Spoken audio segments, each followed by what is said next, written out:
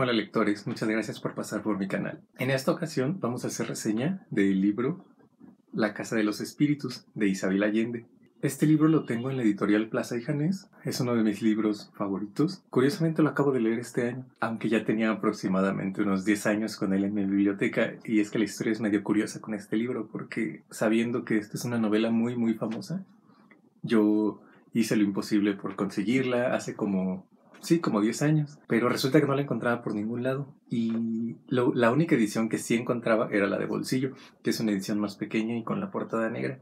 Sin embargo, a mí mis libros en general trato de buscarlos y de encontrarlos en sus ediciones estándar, las ediciones grandes como esta, y no las ediciones de bolsillo, porque estas ediciones que son un poco más grandes se me hacen más cómodas de leer y generalmente tienen mejor manufactura, incluso las portadas son más bonitas, etc. Entonces ese tipo de cosas pues a uno como fanático de los libros, o al menos a mí, me llaman mucho la atención. Y bueno, hace 10 años estuve como loco buscándolo, ya estaba creo que descontinuada. Sin embargo, en una librería de aquí de la ciudad, pues tuve la suerte de que lo tenían ahí en un estante arrumbado y, no dudé en comprarlo. Y bueno, lo compré, pero entonces este libro se quedó aproximadamente 10 años ahí guardado con sus hermanos libros, hasta que hace unos meses me decidí a, sacarlo porque por diversos proyectos que tengo en mi vida no había tenido la oportunidad de leer esta novela amplia, pero recientemente dije, bueno, creo que es momento de, me sentía en, humor y, lo hice, lo, lo tomé y lo comencé. En algún momento de estos 10 años intenté leerlo, aproximadamente hace 5 años. Sin embargo, en esos tiempos estaba muy, muy saturado con actividades de mis estudios, etc. Entonces lo empecé a leer y, no pude continuar, o sea, lo dejé. En ese momento me dio la impresión de que era un libro medio denso, pero bueno, era una impresión totalmente equivocada. Entonces, como les digo, siendo este uno de los libros más famosos de, pues, de la literatura latinoamericana más reciente, o sea, de los últimos 40, 50 años, decidí darme la oportunidad, al fin, de, de, leer este libro. La Casa de los Espíritus es un libro de la escritora chilena Isabel Allende.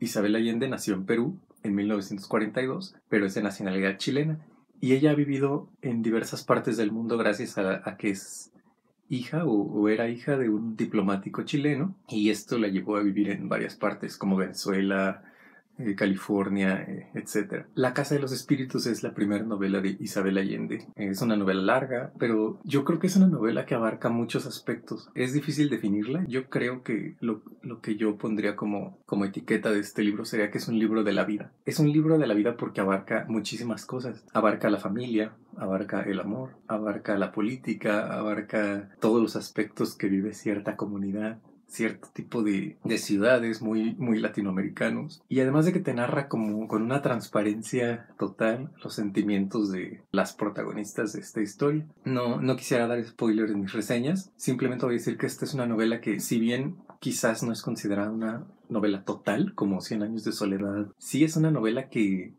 que tiene mucho. Todos los ingredientes se, se, juntan y juegan un, un, papel ahí en esta mezcla de, de, historias y de generaciones. La Casa de los Espíritus comienza narrando la, la historia de Clara, que es una niña muy peculiar, que tiene ciertas cualidades, digamos, sobrenaturales, y es, y es la historia de la familia del Valle. La familia del Valle, pues es una familia de abolengo, en una, nunca te especifican el lugar, según recuerdo, aparentemente está ambientado en Chile, entonces eh, esta familia vive en una localidad de Chile y es una familia, pues, una familia de clase media alta, de hecho, el papá se dedica a la política. Y bueno, toda la historia comienza ahí narrándote lo que ocurre alrededor de esta familia. Este libro eh, conjuga elementos fantásticos, es decir, está inspirada o, acoge elementos del realismo mágico. Y el realismo mágico lo que hace es, durante la narración, varios elementos de carácter sobrenatural o mágico, como su nombre le indica, juegan un papel ahí importante. En este caso, no siento que la inclusión del realismo mágico sea forzada.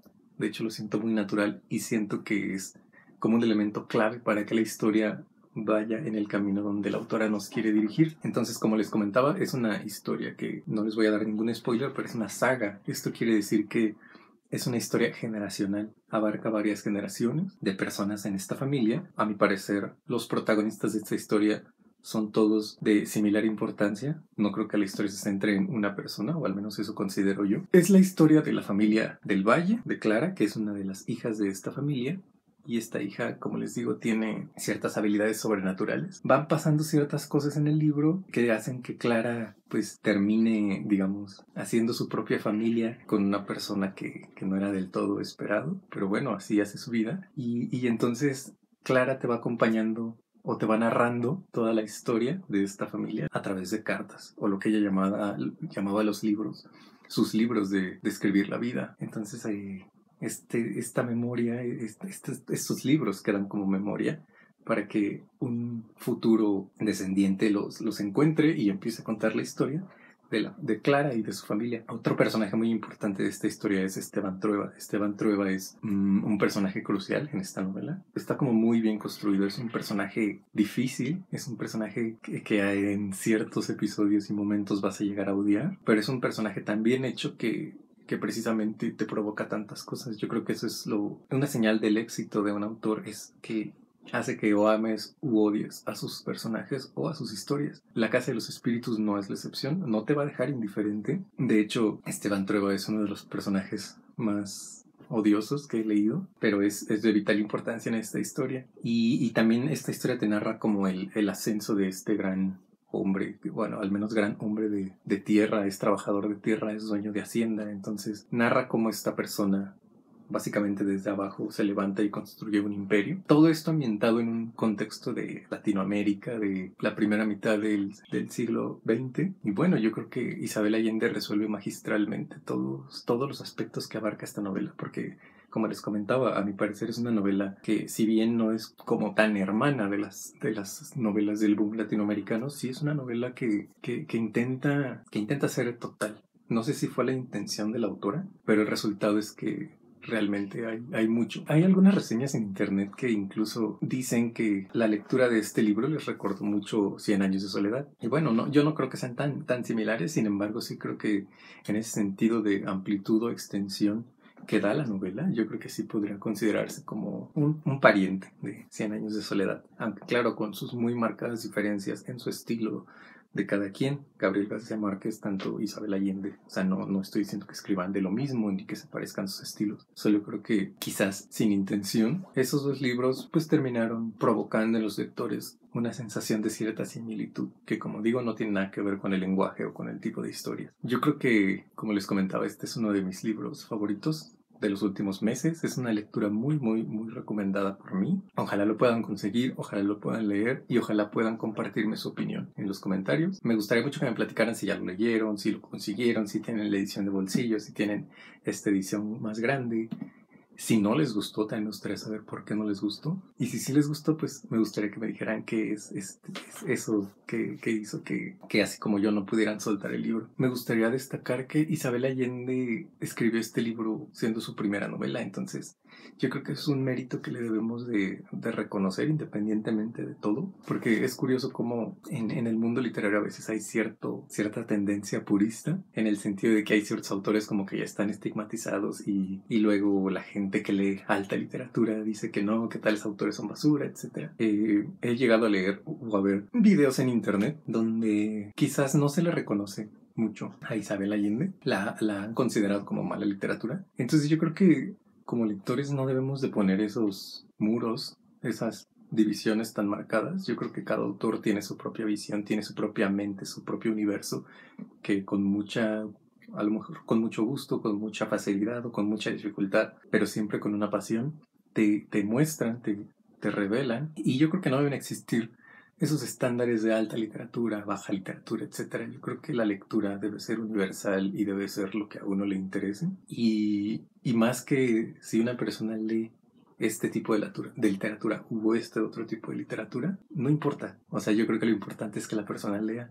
Y, y yo creo que cuando una persona lee, va moldeando sus gustos, va moldeando su mente, su cerebro, y de cierta manera eso lo lleva a evolucionar y a buscar cierto tipo de libros en otras etapas de la vida. Entonces yo creo que uno no debe espantarse o criticar cuando las personas leen lo que es considerado como baja literatura, porque bueno, a lo mejor estas personas es lo que disfrutan, es lo que les enseña y nosotros no somos nadie para, para juzgar a nadie. Lo que sí es que, incluso en mi caso, a mí me gusta de todo tipo de literatura, desde literatura juvenil, de cuentos, de novelas, me gustan las cosas más modernas, me gusta leer a los clásicos, García Márquez, eh, Vargas Llosa, y, y realmente admiro mucho eso. También me gusta leer cosas incluso más viejas, se podría decir, pero yo creo que lo importante es no hacer distinción y tratar de entregarte a la historia que, que estás conociendo. Y si lo haces de esa manera, yo creo que eso te va a llevar a tener una mente más amplia y sobre todo un sentido de, de respeto más, de respeto y tolerancia hacia los gustos de las otras personas más acentuado.